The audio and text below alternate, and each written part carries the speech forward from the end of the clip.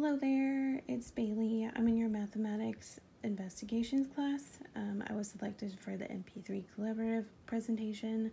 Unfortunately, though, I'm not able to reach out to any of my partners, so I'm to have to do it solo this time. I will be sure to have them, you know, reach out for the next one just to make sure that we are doing it collaboratively.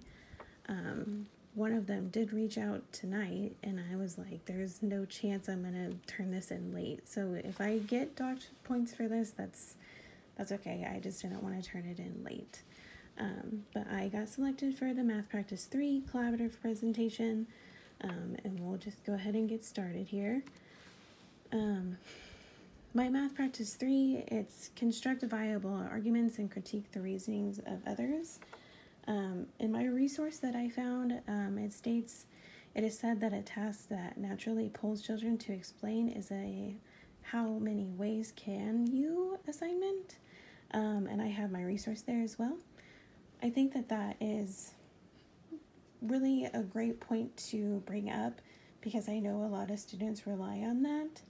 Um, and I also have my example as well um, that I also got from my resource um, saying how many ways can you make 28 cents, or comparing two arguments, consider instructing the students with this rigorous task. How many ways can you make 28 cents without using dimes or quarters?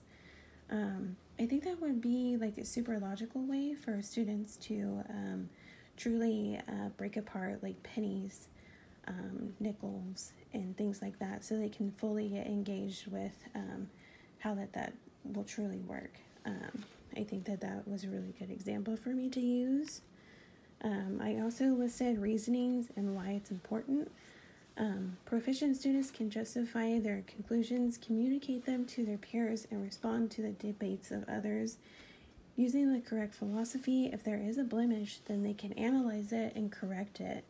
Um, constructing the debates using concrete reference, such as object, objects, drawings, diagrams, and, and actions. Um, in a later slide, you'll notice that I um, made sure to put down like a hands-on activity that they that they could do, um, and then also like since this is an online class, I figured you know that there could be like an online activity that they could use using money and currency and how adding and separating that money can be really beneficial in the future. Um, I also found that this was fun. Um, it's interesting to note the way children learn language is similar to mathematics, is by producing it as well as by hearing it used. Um, I feel like that's really a big piece of why we have the math practice three because it is a lot of talking and getting like their point of view. Um, I really found that that was interesting. Um, so we'll keep going here. For my SIP model, you'll see too um, my allow for hands-on learners to use plastic materials that represent the coins. Um, with that too, I did find a really fun activity on Pinterest of this educator that used um, like Starbucks in her classroom. Um, she was like dressed up in an apron and had the currency like credit cards and coins and like fake money for the students to buy stuff with as they were understanding the currency. Um, and then the my other strategy that I found that was cool is that I could have like groups of kids like um, shopping around um, as well. Um, and then another demonstration that I thought would be fun is if I told them, you know, how many ways can you break apart a hundred dollars? And you know tell them you like it's more beneficial it's smarter for people to have um, for or sorry five twenties instead of a hundred dollar bill just because it's kind of hard to break a hundred like especially in a store if you wanted to shop. Um, i think that would be really important to note.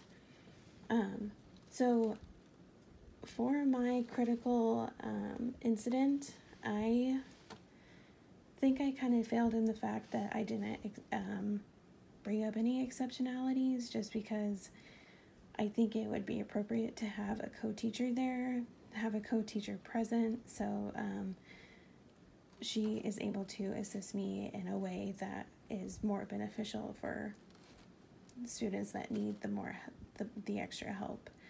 Um, another thing um, that I noticed as well, um, let's go back here. Um,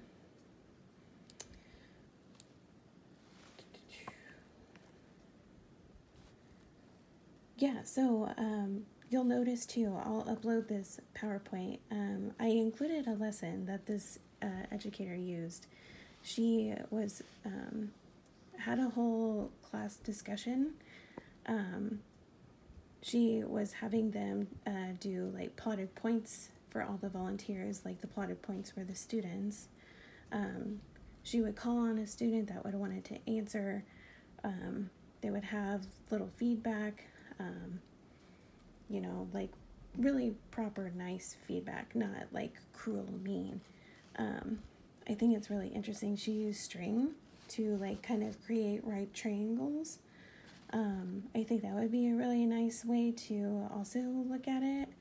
Um, and I also in the reflection brought up the hundred dollar bill breaking into twenties.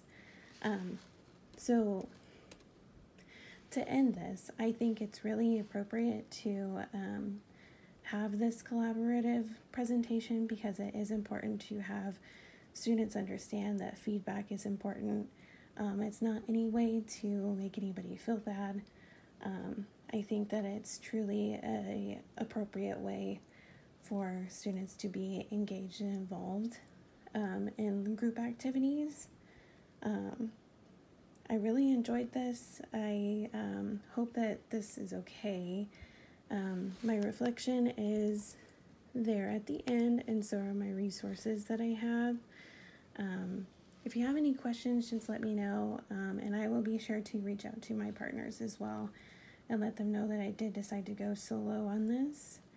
Um, thank you, um, and I hope you enjoy. I will make sure I include this PowerPoint as well. I know this is really confusing for you. Um, thank you, and I'm sorry again.